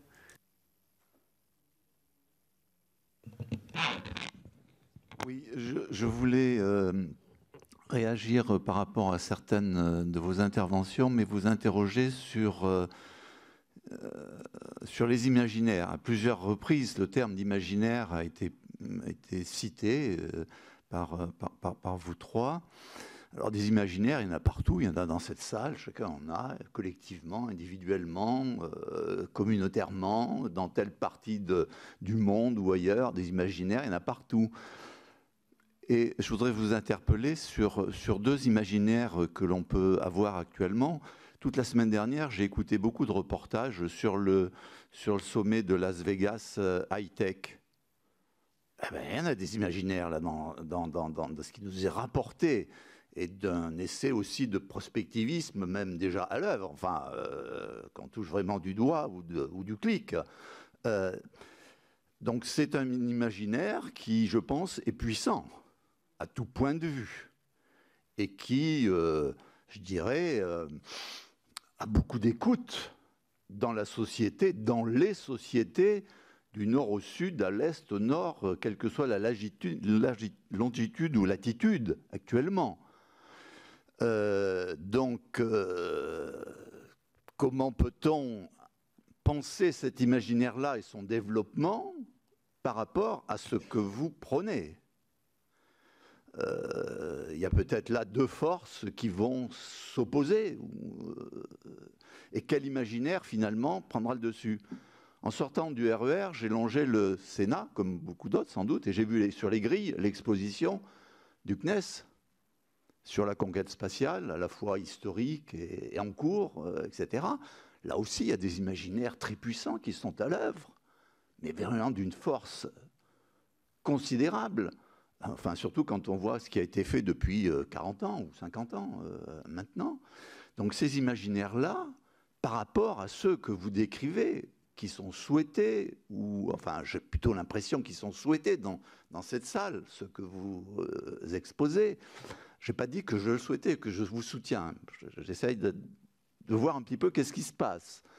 Donc voilà, je voulais vous interroger sur ces deux imaginaires-là que je prends dans l'actualité, celle que j'ai vue en venant de, de, de, la station RER, e et celle de Las Vegas, dont on a beaucoup entendu parler, dont on entendra parler, disons, dans les, dans les petits frères qui seront faits. Euh. Bastien?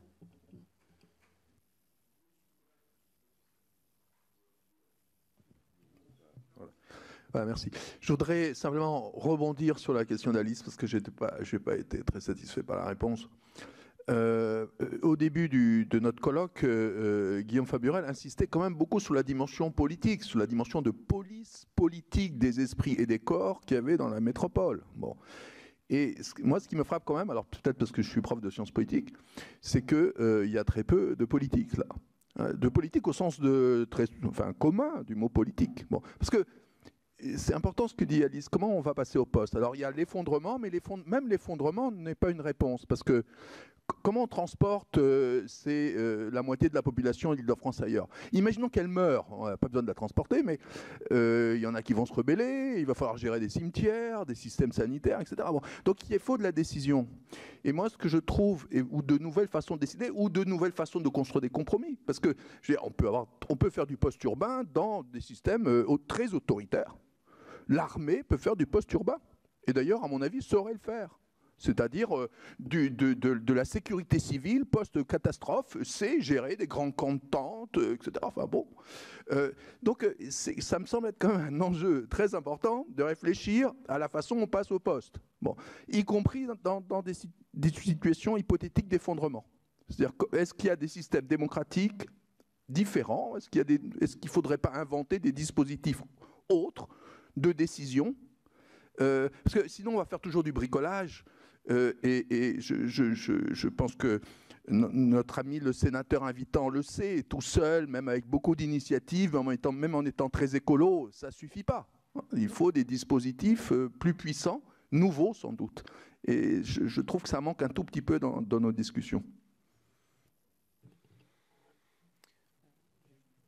Dernière question, puis après je passe la parole aux intervenants. Oui, je voudrais revenir sur une question globale. Ça ne concerne pas la France, mais euh, vous avez parlé de, dans un sens, c'est un retour à la ruralité. Mais on n'a pas beaucoup parlé des paysans. Il se trouve donc euh, qu'il y a une déclaration des droits des paysans qui a été votée d'abord au niveau de la Commission des droits de l'homme à Genève et ensuite euh, aux Nations Unies. Et les pays européens ne l'ont pas voté.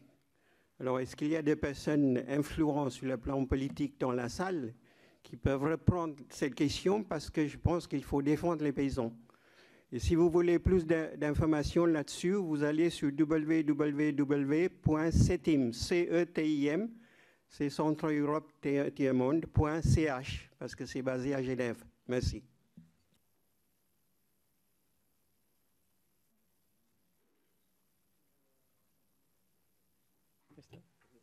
Alors, par ordre, je remonte la file pour les paysans, soutenir les paysans, évidemment. Euh, c'est toujours cette même euh, philosophie de l'histoire qu'on emprunte à, Walter Benjamin, qui dit l'histoire, c'est pas simplement intéressant pour prendre des décisions pour le futur, c'est aussi pour réactiver des possibilités qui n'auraient pas fleuri dans l'histoire. Les paysans, quelque part, ceux qui sont encore là, euh, font partie de ceux qui sont restés. Hein. quand on parle de ruralité, on parle toujours de, effectivement d'exode euh, urbain, etc. Mais il y a encore quand même quelques paysans qui sont là, qui sont la base sur laquelle on peut s'appuyer. Et évidemment qu'il va falloir les défendre. Et qu'à Notre-Dame-des-Landes, si cette opération a, pour l'instant à peu près réussi, c'est au prix d'une alliance avec euh, quelques paysans qui étaient sur place et qui ont coopéré avec ces gens qui sont venus là s'installer autrement, etc. Donc cette coopération euh, post-urbain paysan, elle est décisive, évidemment, parce qu'ils ont en plus euh, le savoir-faire agricole. Sur le, la question politique, euh, après,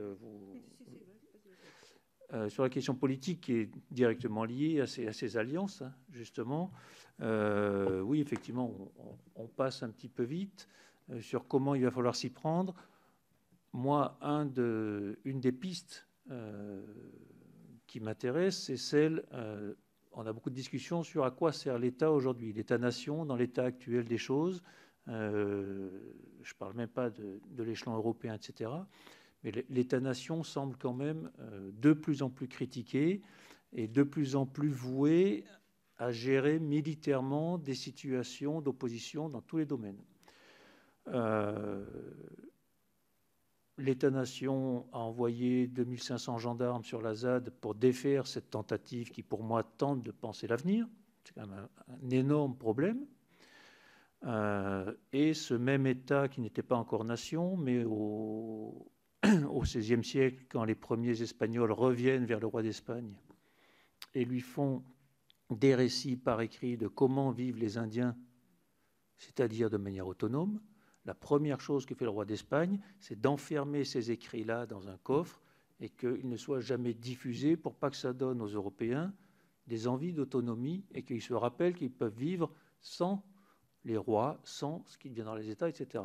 Donc cette question de comment on gère à la fois des situations locales et une situation nationale, je pense qu'aujourd'hui, euh, c'est une question qui est euh, très importante. C'est-à-dire que de la même manière que je pense que la métropole, la, métropolisation des villes n'est pas l'avenir de l'humanité, je pense que de la même manière, euh, la montée en puissance des États est aussi, à son tour, un espèce de sommet euh, qui vraisemblablement pourrait être amené à décroître et qu'on pourrait en tout cas euh, essayer de redonner un peu d'imagination à l'État. C'est-à-dire que moi je plaide pour la ZAD plus l'État mais un État euh, complètement différent qui va soutenir toutes les aides du monde pour essayer de se revivifier lui-même.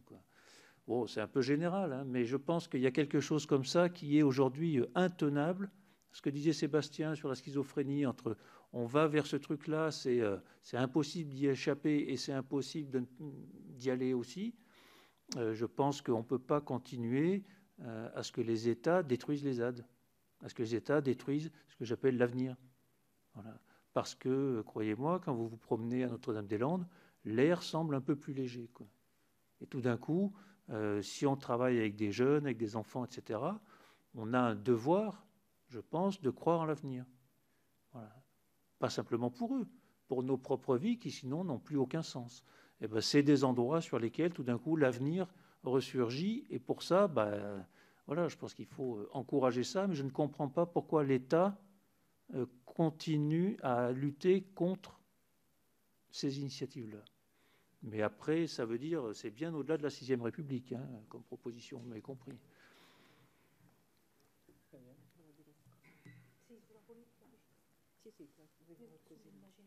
Ah oui, il y avait une autre. Euh, oui, vous dites sur les imaginaires. Ah, oui. Peut-être.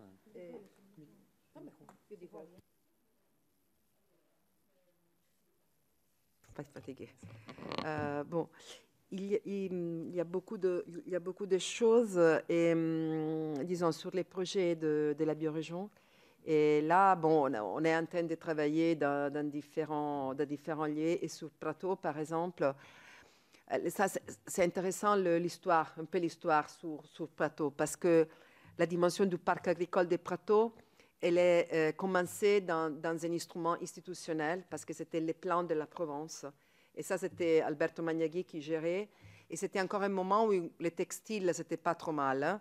Alors Alberto Magnaghi disait non, là, il faut travailler avec les agriculteurs. Ils sont tous les agriculteurs. Il n'y a pas d'agriculteurs parce qu'il y a seulement les textiles. Mais ce n'était pas vrai.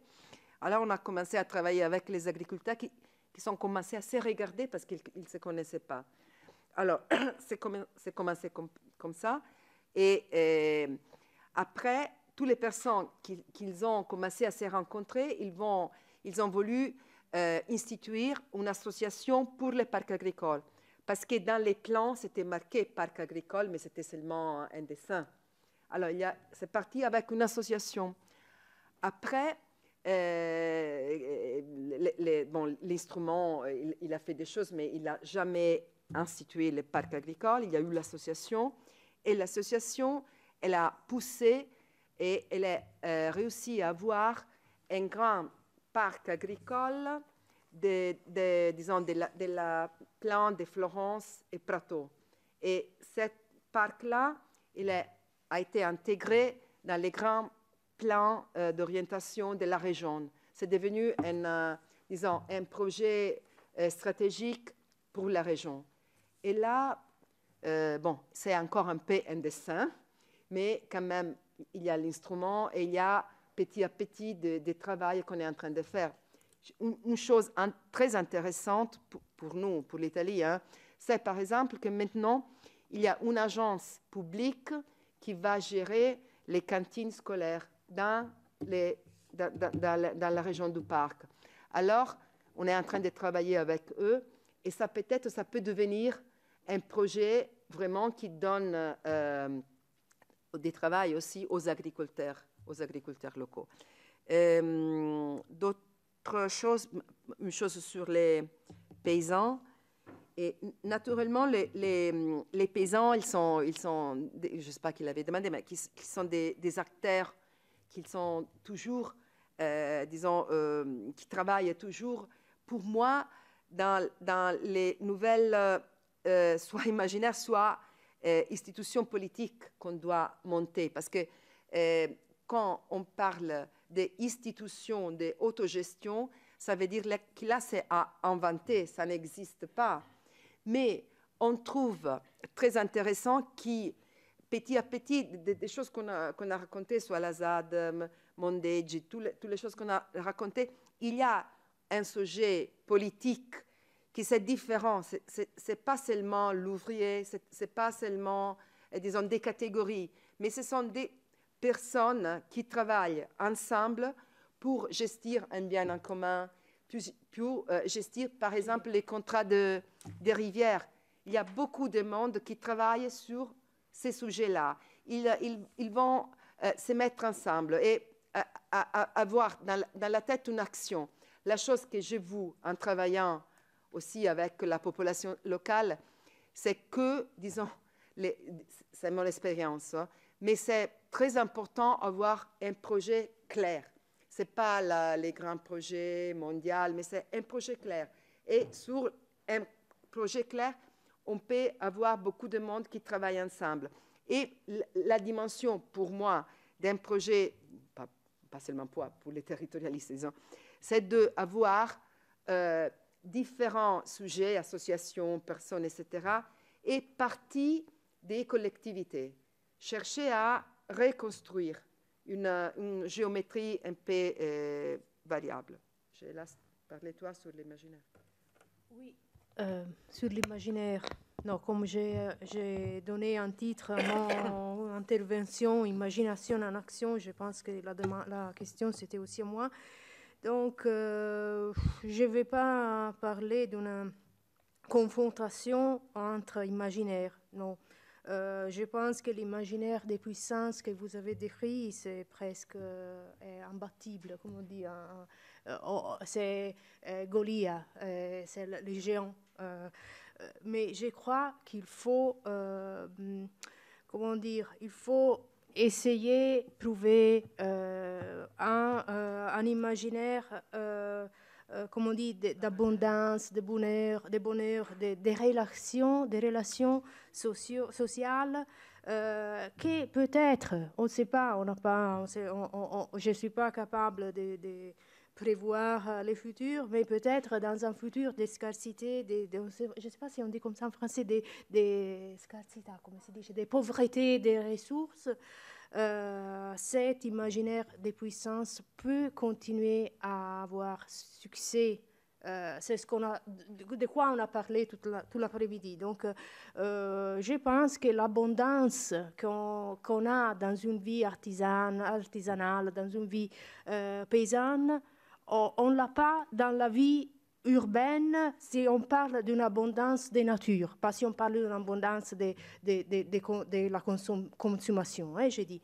Donc, euh, je pense que dans un, temps de... Euh, je ne sais pas le mot en français, je cite euh, Ivan Illich, la scarcité, si quelqu'un me peut dire. Là La rareté, la pauvreté. Je pense que l'imaginaire dont on a parlé là, euh, ça peut gagner un peu de terrain, pas gagner la guerre. Je, vais ajouter une chose, et je crois que c'est le, dernier mot qu'a dit Sébastien Marot, c'est les les mondes de la vie. Là, ça veut dire qu'il y a tout là-dedans. Ce n'est pas une partie, on n'est pas fonctionnalisé. Alors ça, c'est un grand imaginaire. Mais il faut les travailler, et, je, crois que nous, on cherche pour ce qu'on peut faire, à, à, les faire. On, travaille avec les étudiants, on travaille dans, les différents lieux pour construire l'imaginaire. On ne peut pas détruire celui-là parce qu'il est très fort, mais on peut avoir des autres imaginaires qui vont en parallèle et on, cherche de les faire gagner. Juste une chose, il euh, ne faut pas oublier que les imaginaires ont des dynamiques.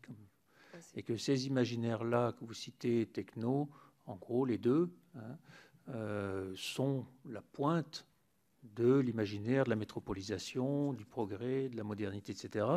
Mais tout ce qu'on est en train de penser, nous, c'est que cette pointe-là euh, va être suivie euh, d'une chute, euh, inexorablement. Donc il faut voir quelle est la dynamique des imaginaires aussi. Ce n'est pas simplement un rapport de force. Aujourd'hui, évidemment, la, bataille est rude. mais il y, a des, voilà, il y a des dynamiques propres aux, imaginaires.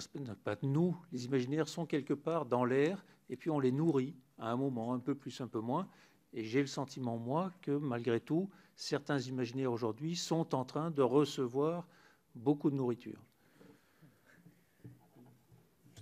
Un, mot là-dessus, parce que je pense que votre remarque est très très juste, c'est-à-dire que cet imaginaire-là, euh, techno, euh, etc., est, extrêmement fort, comme vous dites, euh, invincible, qu'il a tous les réseaux pour lui, dans tous les sens du terme, et qui définit d'ailleurs vaguement qu'est-ce que c'est que, que, l'intelligence ou qu'est-ce que c'est que la compréhension. Hein.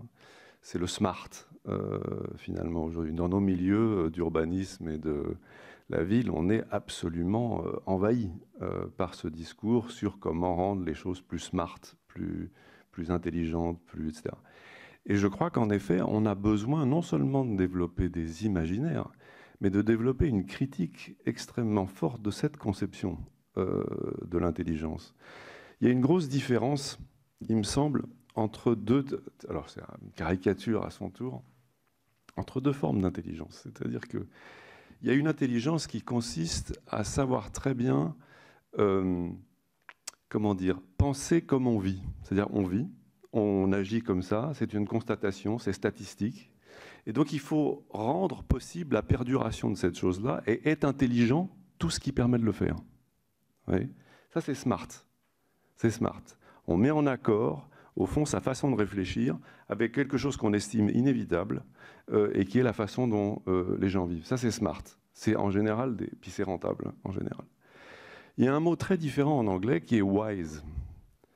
Parce que smart, c'est devenu typiquement la, marque de fabrique de tout ce qui est potentiel, enfin, de façon patente, déraisonnable. C'est-à-dire des recettes appliquées systématiquement comme ça, et elles sont smart parce que c'est des recettes précisément. C'est-à-dire qu'elles sont formulables, elles sont applicables à plein d'échelles, et c'est euh, bon.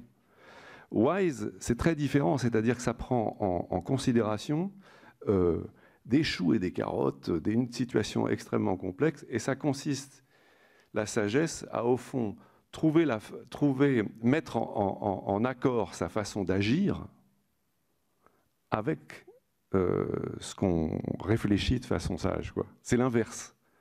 C'est l'inverse, le, wise du smart. Vous voyez ce que je, veux dire? Et donc, ce que, ce que je voulais juste dire, finalement, c'était une grosse parenthèse, mais qu'il euh, me semble qu'il faut véritablement euh, euh, déconstruire, c'est un mot machin, mais il faut vraiment s'attaquer à cet imaginaire et montrer ses conséquences. Quand, par exemple, on fait cette boussole à la fin de notre exposition, c'est un petit essai typiquement pour ça, en disant smart, c'est ça, c'est ça que vous voulez dire? De bien distinguer, au fond, des euh, points de fuite au discours qu'on tient. Alors ça se fait un peu par la caricature, mais c'est très important de les distinguer. Parce que la force aussi du discours euh, smart, euh, high-tech, etc., c'est qu'on ne creuse pas trop les points de fuite de tout ça. On ne regarde pas où ça va. Je ne sais pas si je me fais comprendre. Si je me permets de rajouter simplement, c'est que dans cette affaire-là, il y a les pratiquants et les croyants. Oui, bien sûr. Ce pas les mêmes, mais euh, les pratiquants sont très nombreux. Bien et sûr, absolument. il, il, va falloir vraiment qu'on passe à la clôture. Je voudrais, juste passer deux secondes la, la parole à Alice pour, euh, pour euh, clôturer la table ronde et puis après on passe à, à la Pour clôturer, vraiment juste 30 secondes, bref, ça sera très bref, mais quand j'entends euh, le mot imaginaire, une fois sur deux, je sors mon revolver, et encore plus quand j'entends invincible. Puisqu'on a ramené tout un écosystème d'intellectuels autour de nous, Magnani, Manford, Illich, etc., j'ai juste envie de, de, proposer de convoquer aussi Canalus Castoriadis, qui est un des grands penseurs de l'institution imaginaire de la société et qui a bien montré qu'il existe des, imaginaires centraux, des significations imaginaires centrales. Euh, et aujourd'hui, notre imaginaire central, c'est le même, hein, celui que vous avez évoqué. Il est techniciste, il est croissanciste, et vous pouvez y mettre toute une série de casseroles ou de, wagons vont, qui vont avec cela. Et il est dominant il est dominant, mais il n'est pas pour autant invincible. Il est dominant, il structure toute une série de choses. Il a structuré aussi le, ce pourquoi aujourd'hui on pense un poste. C'est-à-dire, il a structuré aussi toute une série d'apories et d'écueils face auxquels on se retrouve.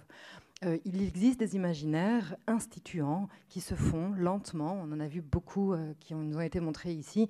Et donc, il n'est pas invincible. Il se déplace par, euh, avec lenteur. Mais donc je, propose que l'on reparle davantage de Castoriadis quand on parle d'imaginaire, d'autant qu'aujourd'hui, cette question de, l'imagination, on confond souvent imagination et imaginaire, euh, et je pense que ce n'est pas toujours pour les, meilleurs termes.